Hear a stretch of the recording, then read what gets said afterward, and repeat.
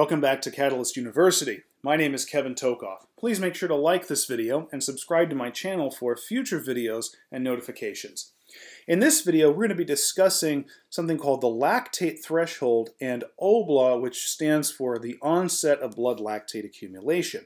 So in the previous video, we talked extensively about what lactate is, how it relates to uh, lactic acid and lactate dehydrogenase and exercise, and then also cleared up some misconceptions on how it actually lowers pH. We mentioned that decreased pH is not caused by lactic acid. It's not like lactic acid has a proton, and that proton is what you know acidifies the blood.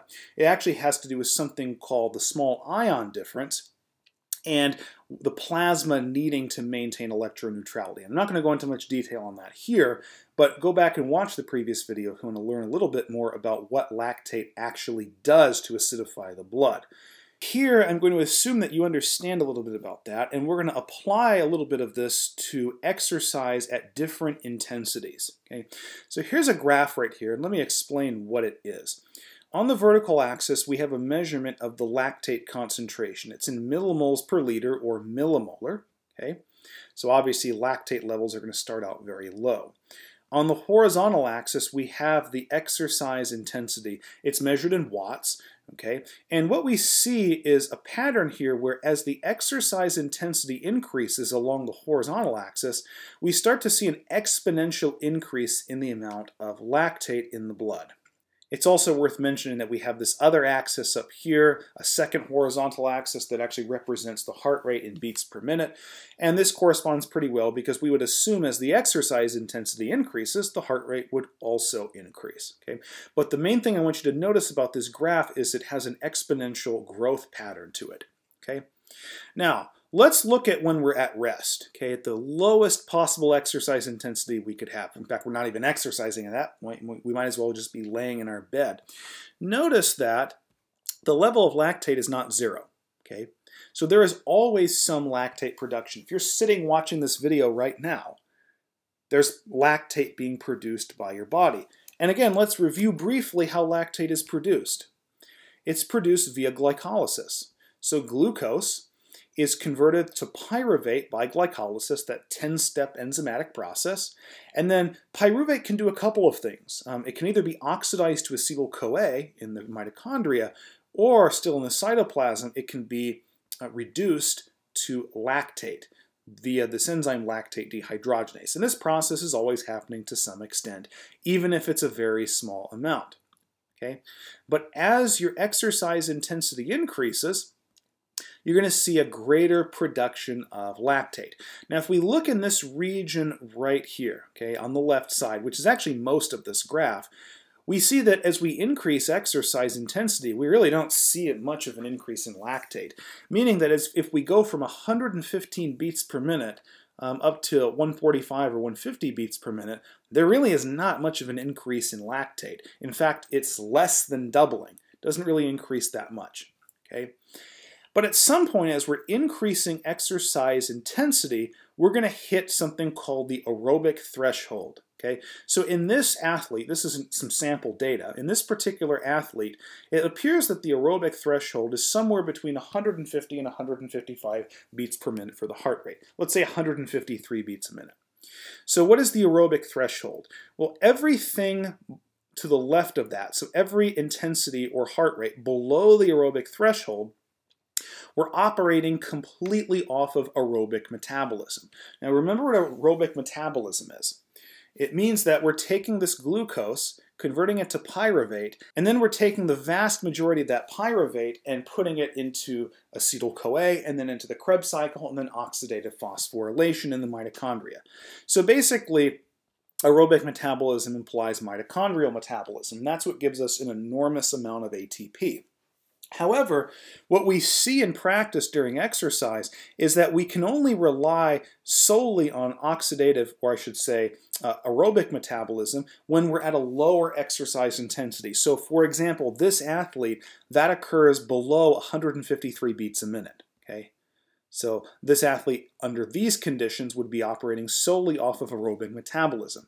However, as we start to increase the exercise intensity, there's a threshold that we cross where above that it turns out that aerobic metabolism is no longer sufficient to supply all the energy.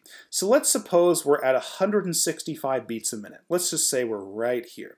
So that's right here on the graph. We're clearly past this aerobic threshold, this line, okay? We're actually about halfway past it right here.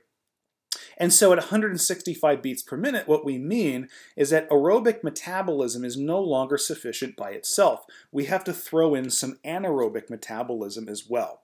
So it's not like we're switching just to anaerobic metabolism. We're sort of augmenting aerobic metabolism with anaerobic metabolism on top of that. I have another video where I explain that, and I will try very hard to remember to put the link to that in the description. Uh, but basically, we're going to have to add a little bit of anaerobic metabolism on top of that aerobic metabolism. So that's going to come with a consequence, which I'll mention in just a minute. So that anaerobic metabolism above the aerobic threshold is going to be provided by the production of lactate.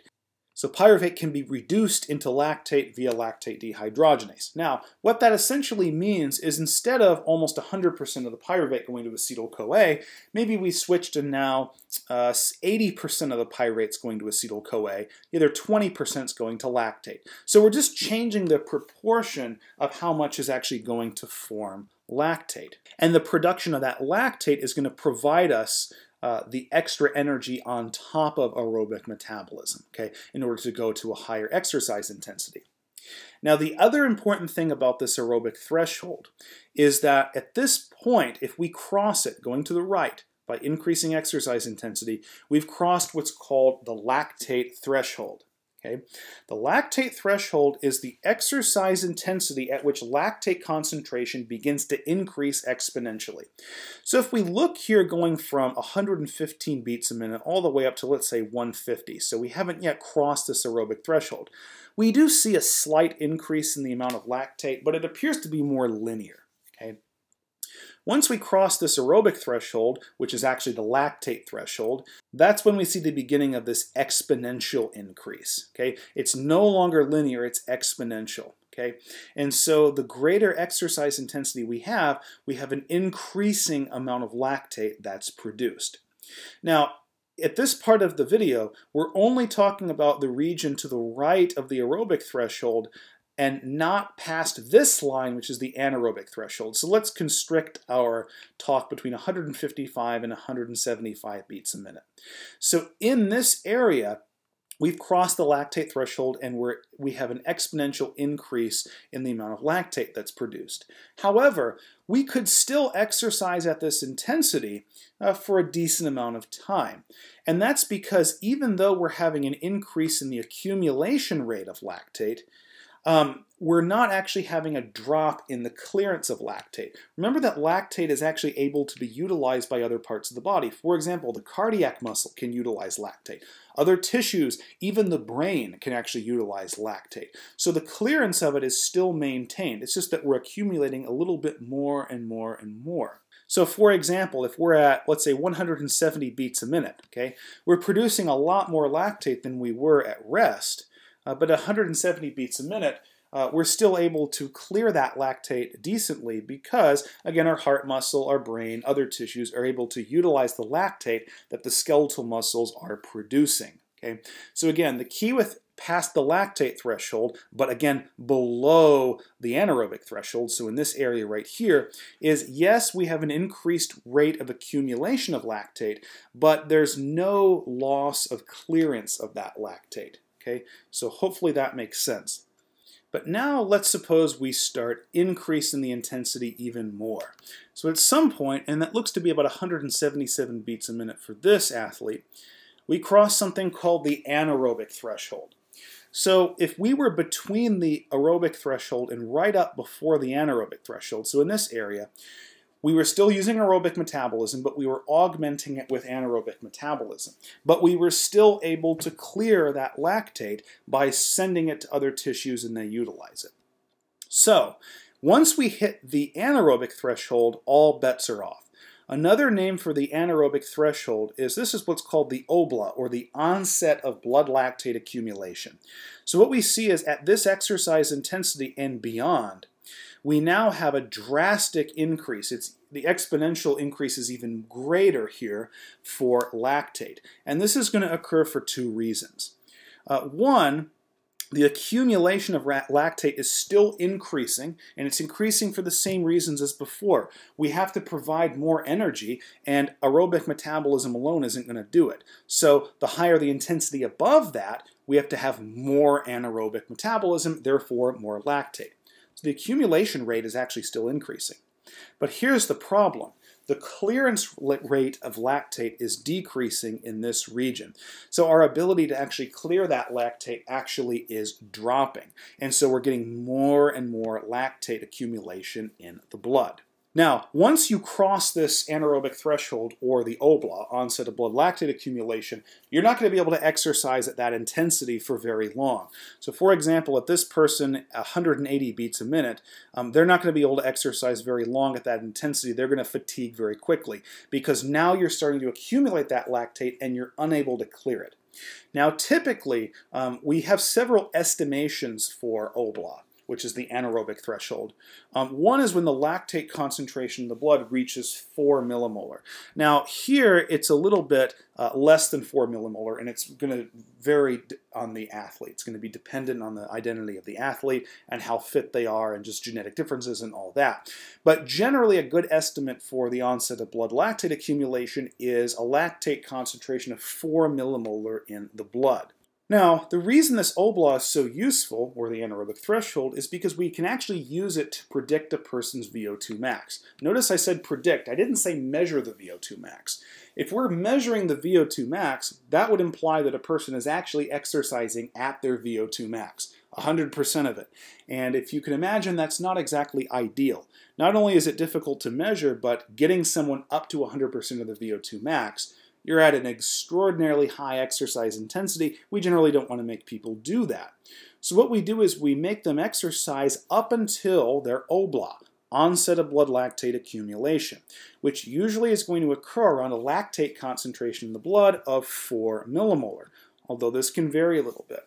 Well, the nice thing about that is that OBLA generally is going to occur around 85% of a person's heart rate max, and 75% of a person's VO2 max. So if we can measure when a person has reached 85% of their heart rate max, that's probably going to be where they're at their OBLA. Okay?